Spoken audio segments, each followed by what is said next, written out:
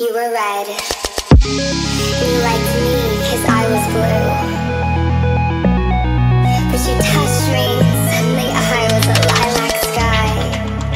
And you decided purple just wasn't for you.